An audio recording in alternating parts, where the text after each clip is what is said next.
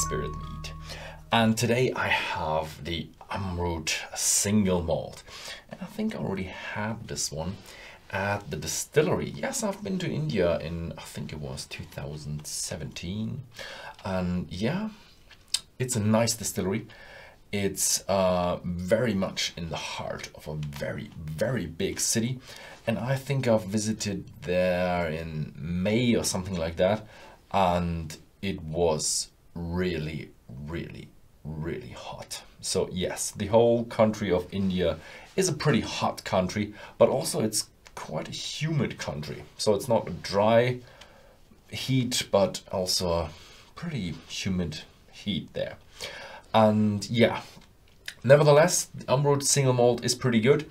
The heat in that country, that high temperature, they even they they do have like uh, concrete cellars and it's pretty damp down there and cooler, but still a lot warmer than it is, let's say, in Scotland. And that means it's maturing much, much faster more additive maturation, less subtractive maturation. Subtractive maturation, it just that just needs time. Uh, and therefore, these whiskies usually don't carry an age statement. If you have an Indian whiskey, you don't usually have an age statement. If you'd have a 12 year old Indian whiskey, that would be really, really, really, really oaky. There would be just so much oak flavor in there, you just couldn't really enjoy that. And yeah, so a little bit about background about how it is aged and Amrut. Amrut is, it says here on the back, um, the word Amrut derives its origins from the historic language of Sanskrit and means the elixir of life. Staying true to our corporate ethos, our beloved founders named our distillery Amrut Distillery. And yeah, elixir of life, there is a bit of a, uh, uh, yeah, um, mythology.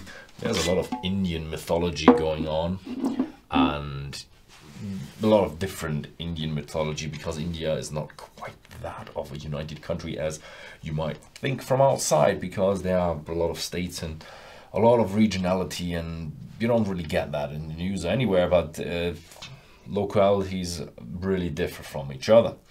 Uh, nonetheless, this is the myth mythology of like ancient gods and demons, and uh, they actually uh, mixed the mountains and the oceans, and a golden drop uh, sprang out, and that was the whiskey, the elixir of life, Amrut. So that's why they call themselves Amrut. It's not chill filtered. and I've just cut my nails and oh come on.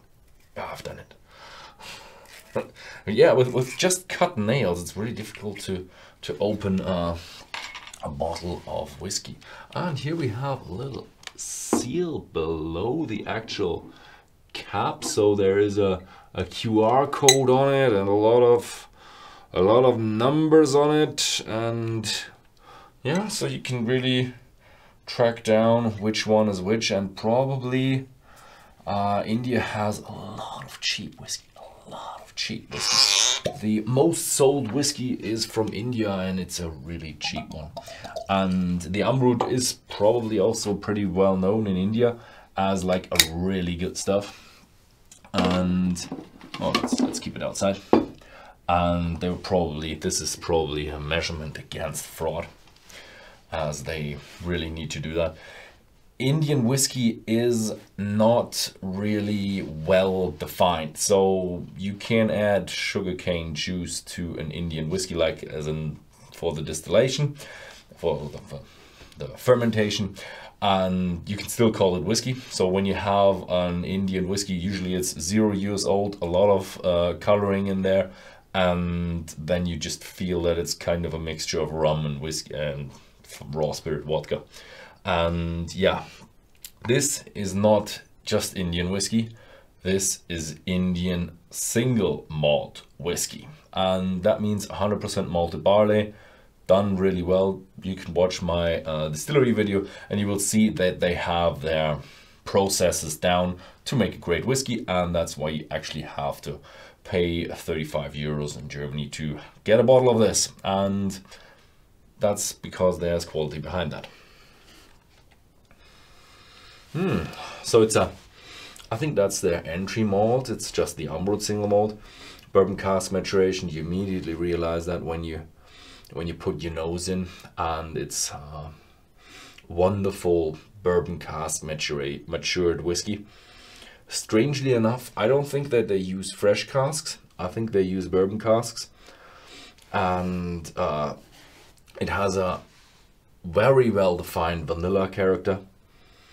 Yeah, and even a little bit of an oak note, a little bit spicy, just a little bit fresh fruity, but the dominant character is vanilla and then caramel and a bit of a um, yeah oak note. But smells like an American oak. It's not at all uh, any anything bitter in there at all. Mm. Mm.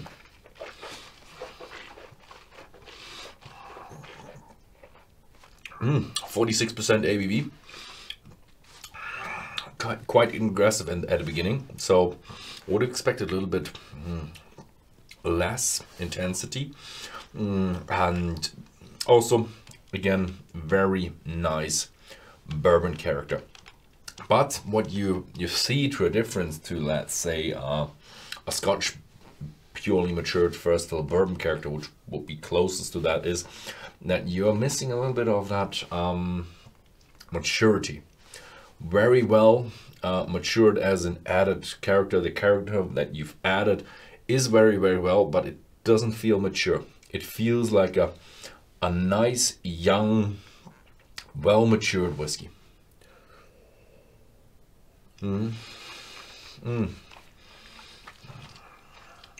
I have had some older Indian single malt before here, and um, there are few out there who have age statement. I've had the honor to try one one seven year old, and it was very very oaky.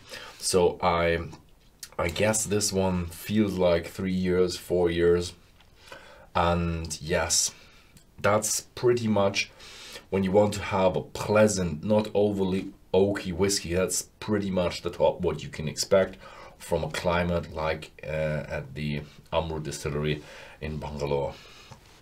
Was Bangalore? Bangladesh? No, Bangalore. Mm. And but it's it's really nice. So if you if you like your your whiskey, you don't you're not. It, it's not like it has that metallic use. Maybe a little bit, but um, it can be also a little bit challenging in there, and oh, intriguing. And if you like your single malt a little bit younger, then uh, this is the perfect whiskey for you because it just has such a nice flavor profile that you get out of the whiskey. And yeah, so write me down in the comments. Do you like the international whiskies? Have you ever tried them like an Indian single malt whiskey? I think there are now two out there, third one to come. Have you ever tried one of these? Do you want to try one of these or say, yeah, I'm fine with Scotland? Just write it down in the comments below. Yeah, thank you very much for watching and see you next time.